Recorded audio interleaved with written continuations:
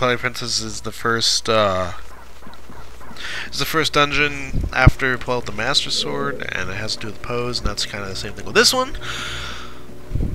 Twilight Princess is very, very alike to this game. I do not like that. It could have been a, could have been a little more, um, original, I guess, but I guess that could be why Twilight Princess is my second favorite video game. I mean, second favorite Zelda game. My second favorite video game would probably be Kingdom Hearts 2, because that game is so fucking fun. I'm a, I'm a huge uh, Kingdom Hearts fan. I That's mostly Final Fantasy. I don't like Final Fantasy that much. It's alright, but I would pick um, Kingdom Hearts over Final Fantasy any day. Any fucking day of the week. I think Kingdom Hearts just outclasses Final Fantasy in every way. Okay, so this is the um, the room right before the uh, the twisty hallway. If you remember, the twisty hallway is right in that door there. Uh, what we want to do is shoot the eye here because we got a bow now. Or arrows now, sorry. Whatever, whatever you want to call it. You can call it whatever you like. I call it arrows. My mom's still standing out there. What is she doing? Whatever. As you can see, it straightens the hallway, so... There are two things we can now newly do. One of them is fall in a hole there. And the second is get the boss chest. This, this hole in the boss... This hole and the boss chest were both on the wall, I think, before we shut the thing, so it kind of shifted the room, I guess? I don't know. It's more Zelda logic. It doesn't really make sense. Doesn't have to. Eh, okay.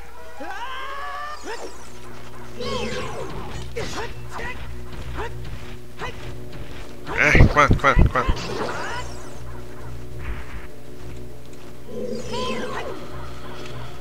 Come on.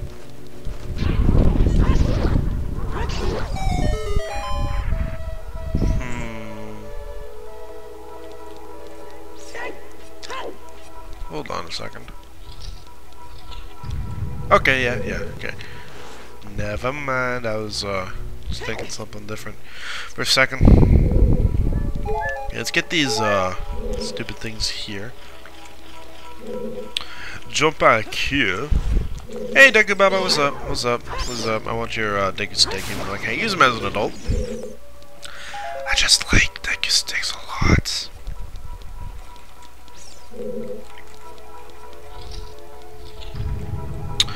What are these guys called? I forget. I think they're... Oh! Uh, exit. Hold on. Press the wrong button there. I think this is Floor Master. Okay.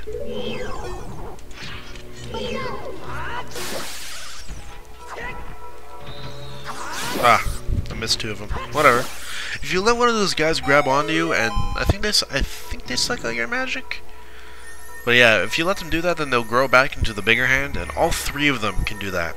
So if you let them do that, you have more guys on your hand, and they kind of kind of gets annoying. So I like to kill them quickly with a spin attack as soon as they break apart. Okay, now we got a small key, so now we don't have anything else to do here, so let's use Farore's wind to return back to where we set the warp point. It's very handy when you want to backtrack like this. Like this much. Uh, yeah? Uh, yes, please.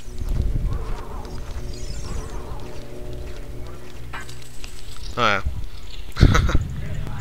really hot in here?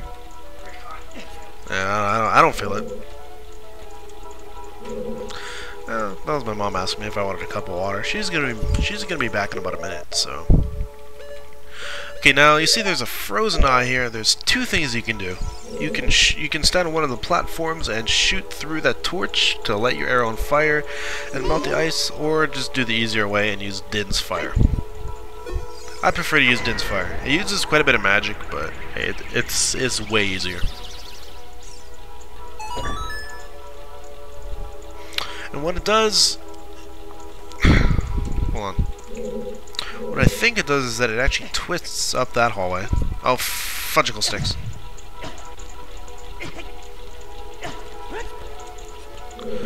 Alright. Thanks, Mom.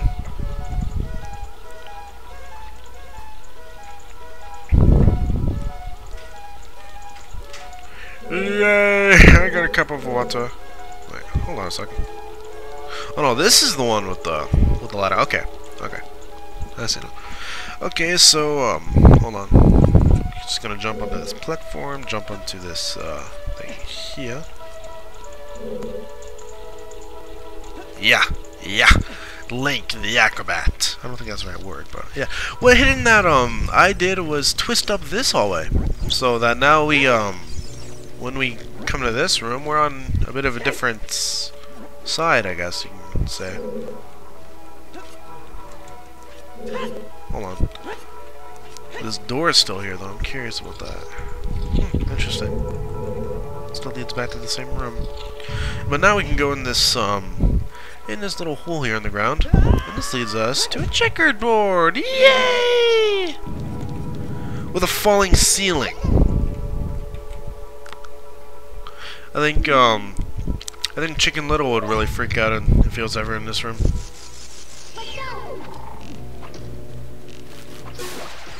Anyway, there's... Yeah! There's little holes in the ceiling that you can, uh, stand in so that it doesn't crush you, as you can see here. There's little spaces. Let's get to this chest here. Ah! Oh. Okay, good. Wrong side, wrong side! Oh. that was pretty close. Let's go back here and just open the door. And now this is where we go to fight the third of the Poes, but getting this Poe to come out is a little bit different than the other two. What we have to do is shoot this one picture, and then solve a puzzle. Okay, there are four pieces that may come up, and the fifth piece is basically just bullshit. Yeah, the fifth piece you just want to take right out of the way because it doesn't mean anything or do anything. And unfortunately, it is right in my way, so I'm gonna move that.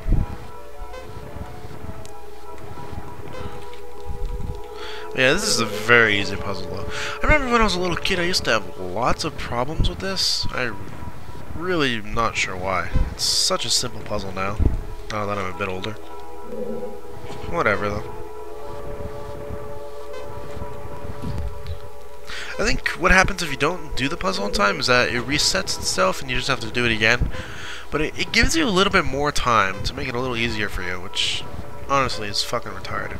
But there we go, we solved the puzzle. And gonna have a sip of my water and... Come on, bastard, what you got? I'm gonna go all Harry Potter on your ass. Come on, come on, what you got? I got I got a horrible British accent, that's what I got. Come on!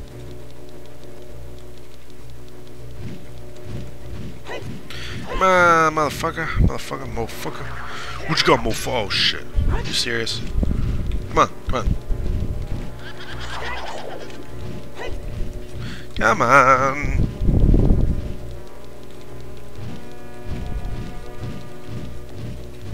Come on, man. There we go. Fudge.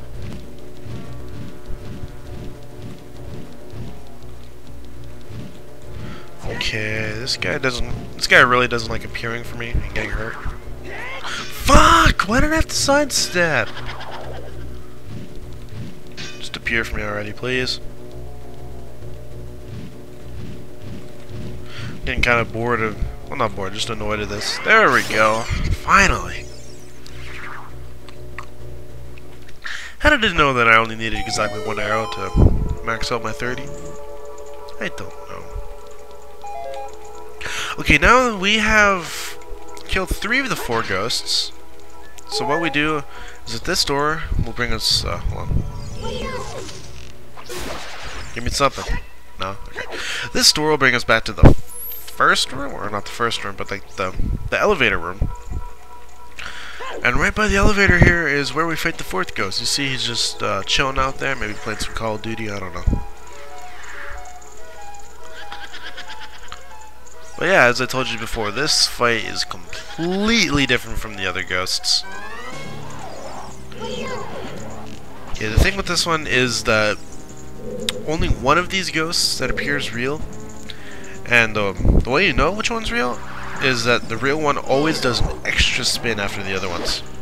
So you just yeah, and you have to shoot him with your bow. You can't use your sword. It doesn't work. so uh, it's a very, uh, very easy fight. I don't, I don't think it changes up at all. So you just keep doing this till he's dead. Very, very easy boss fight. So should stop giving yourself away like that, big boy. Makes it pretty simple.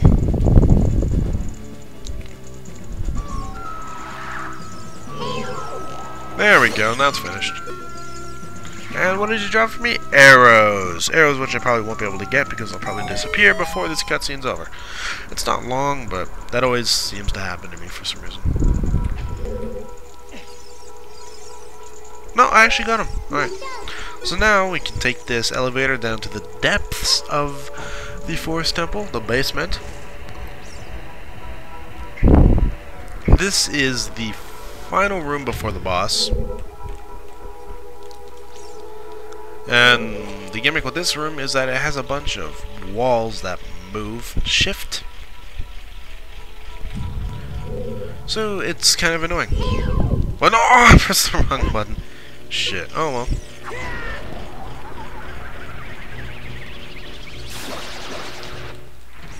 As you probably heard that, there was a gold Skulltula in his room. I just killed it with Din's fire by accident. So I'll just uh, I'll just collect it, I guess. You destroyed a gold Skulltula. Yay.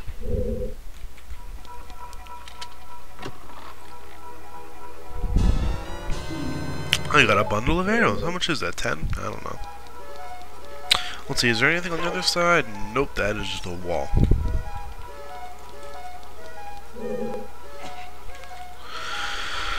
Stretching again.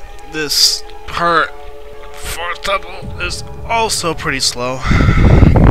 The Forest Temple, personally, I think is just a very slow temple.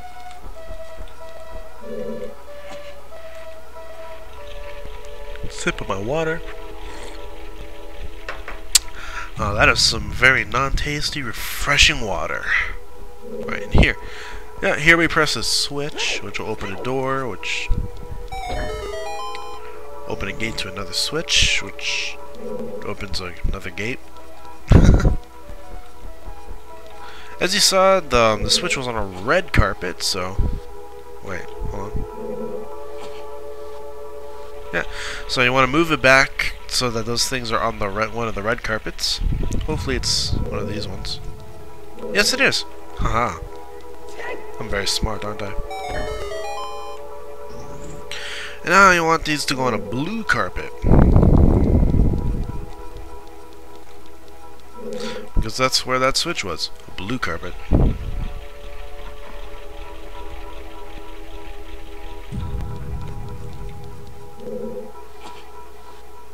I can't wait for the next temple after this one, the Fire Temple. Probably my second favorite temple in the whole game. I just love the Fire Temple. I believe this is the final switch you have to press. Yes, it is. Now just across from here, that opened the gates to the uh, boss door. As you can see, that is the boss key that requires, well that is the boss lock that requires the boss key to open the boss door to fight the boss. Boss. And this is probably my least favorite boss in the whole game. Honestly, like, this boss is fucking annoying. They're so spiky. Holy balls, it's Ganondorf! You have to fight Ganondorf this early in the game? Really? Or is he just like care to say something? Or what's going on here? Uh, huh? What? He has a mask? Really? Ah, oh, it's just Phantom Ganon don't know why I did that. I'm not native. I'm sorry. Okay, what this guy does is that he goes into pictures, and he comes out of pictures, and you have to shoot him when he comes out of out of a picture. But the problem is, is that he always you always see him coming out of two pictures, and one of them is fake, so you always have to guess which one's going to be the right one. And if you take too long and you don't shoot the right one, then he come